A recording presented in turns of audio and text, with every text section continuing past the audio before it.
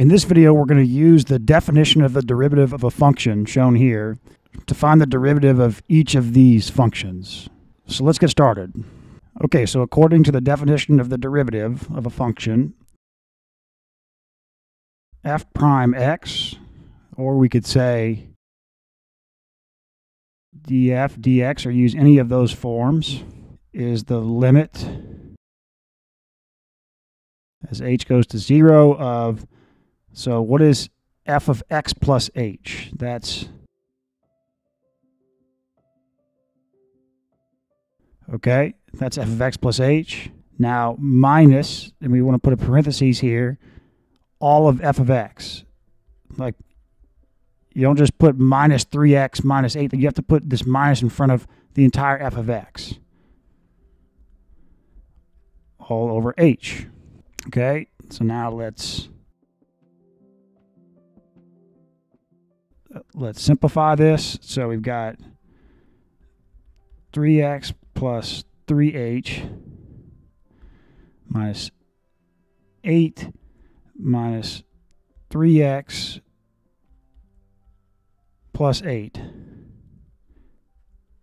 Okay. Okay, these three x's go away, these 8's go away, and we've got 3h over h 3. So f prime of x is equal to 3. And this makes sense because this is a this is a line. The slope of a line is the is constant. The slope of this line at any point at any x is 3. So f prime of t, and then we can say we could say df of t. We could also say d dt f of t is equal to what? So the limit as h approaches 0 of 2 point, so f of t plus h is what? So we do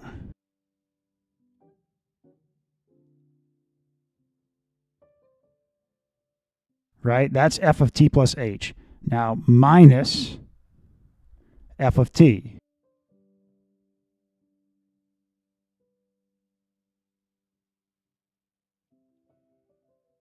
all over h.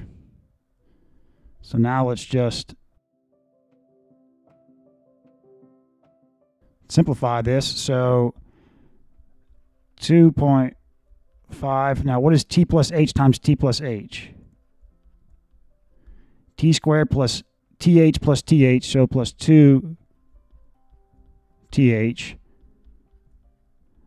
plus h squared, okay, plus now 6t plus 6h, all right.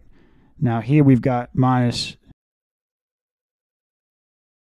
2.5t squared minus 6t. So let's continue to distribute. Let's continue to distribute to expand everything here. So 2.5 t squared plus 2.5 times 2 is 5.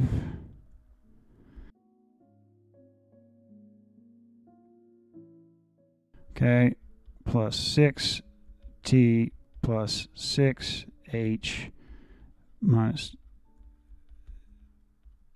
2.5 t squared minus 6t. And then, all right, so these 6 t's go away. These 2.5 t squares go away. And we're left with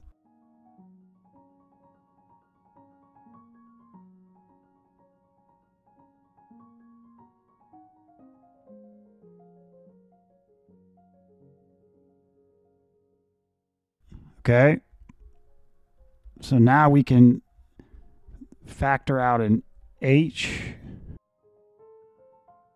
So we've got H and then 5 t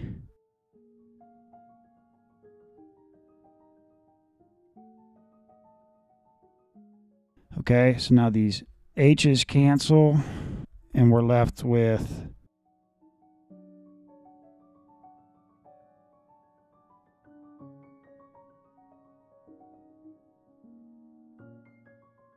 Okay, so now as h goes to 0, what does this go to? 5t plus 6.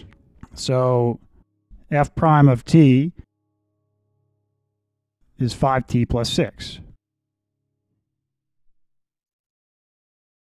Right? So you've got this, it looks like a, a parabola. At any point in that parabola, if you plug in that point, that, that, that, that t here, it'll give you the slope of, the, of this curve at that point. It's interesting.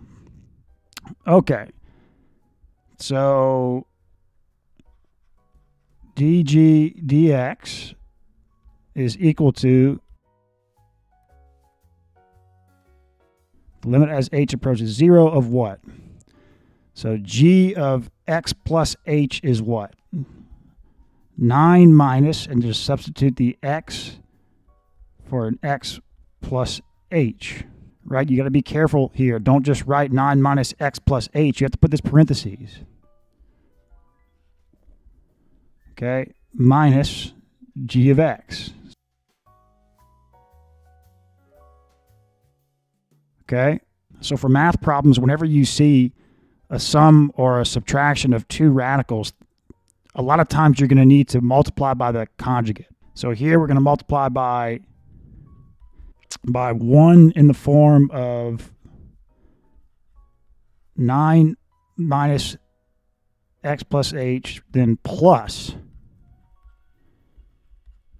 right?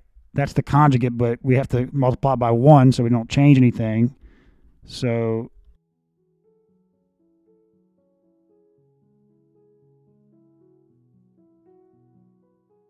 Okay, so now what do we get? The point of multiplying by the conjugate is that when you do this multiplication, it's going to, going to be greatly simplified. So we multiply, we first multiply these two radicals and we get what? So we get 9 minus x plus h. And then this times this plus this times this is 0 and then we're left with minus what? Minus, we're left with that. Okay, and then we've got on the bottom,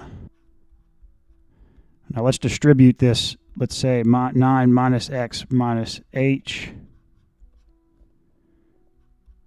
plus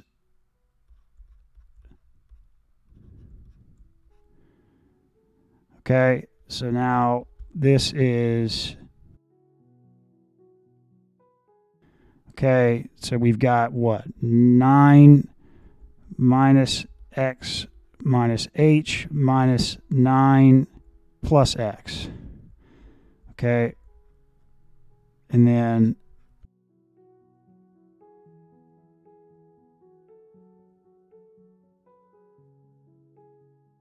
okay so this these minus x plus x positive 9 minus 9 you see so now this is really simple simplified. So we've got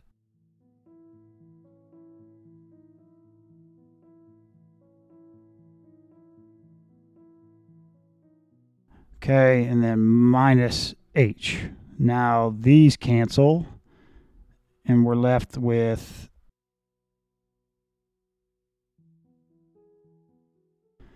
Okay, so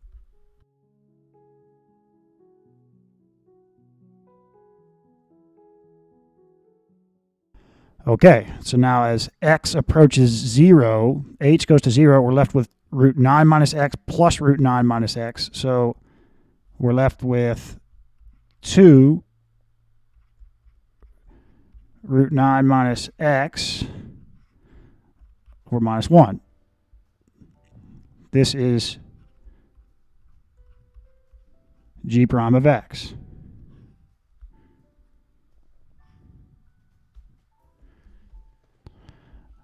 All right, last problem. Let's find d of f of x.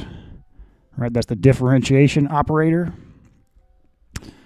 Okay, the limit as h approaches 0, f of x plus h, all right, minus what? f of x over h. Okay.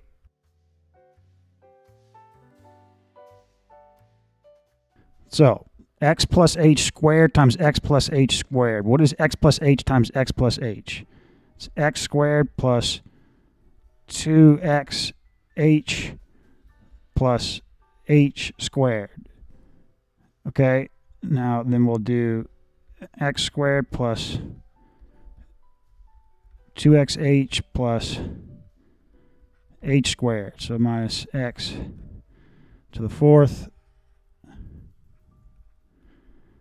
Okay. So we've got what? All right. Let's distribute this. So we've got x to the fourth plus 2x cubed h plus x squared h, h squared, okay, plus 2x cubed h plus 4x squared h squared plus 2xh cubed, okay, plus x squared h squared plus 2xh cubed plus h cubed minus x to the fourth. All right, so now these x to the fourths go away, and we're left with what?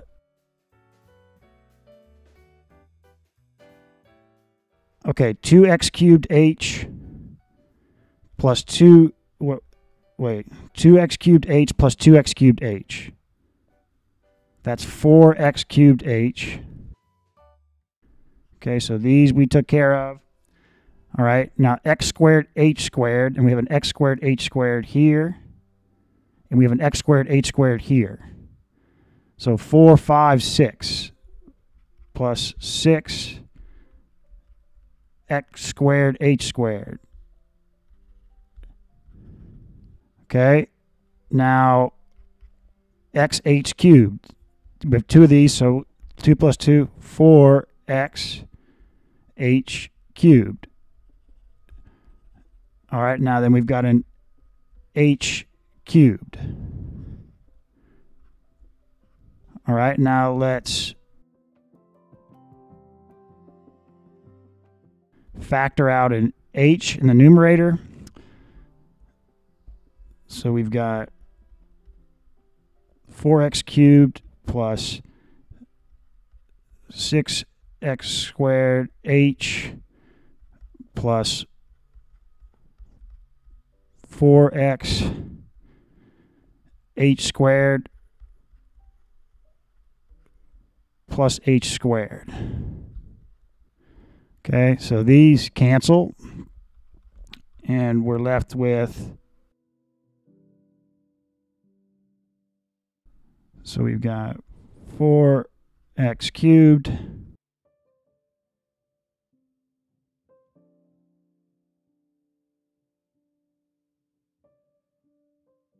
Okay, now as h goes to zero, these go all these h terms go to zero, and we're left with